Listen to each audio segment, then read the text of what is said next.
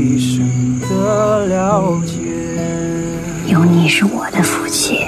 不管风雨我地去等你回旋笔。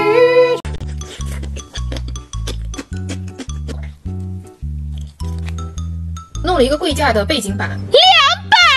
今天是肉类什么呃凉拌什么这种啊。第一个这个我最想吃的这个十三块鸭爪，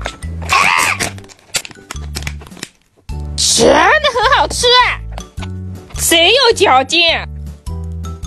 它咬进去的那一瞬间就是 Q 弹的，Q 弹和糯的，辣度感觉是微辣再辣一点点的那种，然后它的麻味很重，好短，美滋滋，美滋滋。它是怎么做到又短又 Q 又糯又有嚼劲的？就是把这三种可能凑不到边的口感结合到一起了，越吃越辣，越吃越辣，越吃越辣。第一个还不是很辣，第二个、第三个就废物。第二个吃这个脱骨鸡爪，这个是鸭爪，它是一包黑黑的鸡爪和一包酱。这个是不是乌鸡呀？好浓的红油啊！它这个红油的味道超级香，给它满满的挂满红油。真的超级好吃，这个不太辣，特别香，就是让我想到我之前有段时间特别喜欢吃某一家的凉拌菜，九九他们家就有这种很红但是却一点都不辣的这种红油，特别好吃。我怀疑他们是同一种红油，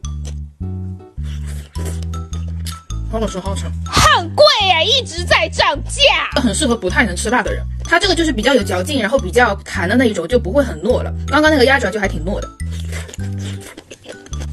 一包红油，一包粉，还有一包东西，十块。不知道辣不辣，少放一点，抓一下。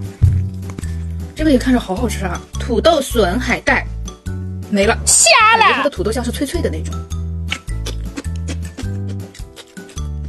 真的很脆耶，味道比较淡，不是很浓，感觉它是比较香，不太辣的那种。笋，哦，还有黑木耳，眼睛长出来了，切的比较碎。还不错，辣椒竹笋，十五块。好吃好吃。它这个就是嗯，是沙县的辣椒那种，有点咸，不太辣的辣酱，但是它比沙县的要辣很多。要不要看看在说什么？我真的真的真的真的很喜欢吃笋尖。这个吃了两根有点咸，得就饭吃，不能单独吃。